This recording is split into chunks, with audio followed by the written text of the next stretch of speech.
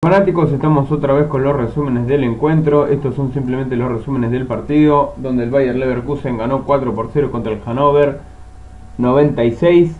Hoy día 18 de abril, hace instantes terminó nada más el encuentro, donde goleó el Leverkusen. Abajo en la parte de descripción tenés el link para ver los tantos del partido, donde a los 20 ponía el resultado en favor del local, el jugador Toprak en el tiro de esquina marcaba de pelota parada el conjunto local.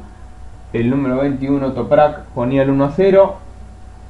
Después llegaba el segundo tanto, Sou Min, que ponía, eh, eh, empezaba jugando por la izquierda. Y después de varios toques pone Brandt, el delantero juvenil, el 2 a 0.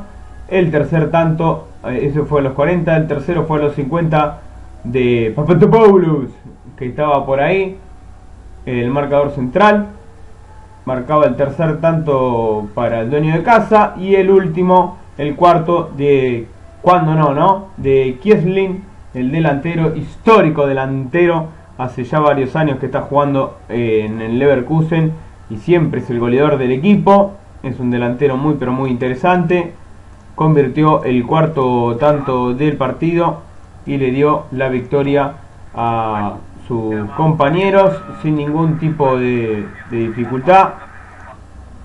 Convirtió el tercero, él lo aplastó, lo pasó por arriba, lo bailó al Hanover, que igualmente, eh, más allá de tener problemas defensivos, de pelota parada ganaban siempre los jugadores del, Leverkusen. Siempre ganaban, tiene jugadores muy altos y muy astutos para colocarse dentro del área. Eh, el porcentaje de balón fue apenas mayor para el Leverkusen, pero el arquero eh, Robert Zieler, que seguramente se va a ir del Hannover, eh, fue la gran figura del encuentro tapando muchísimos remates que podrían haber llevado a una goleada mucho más abultada.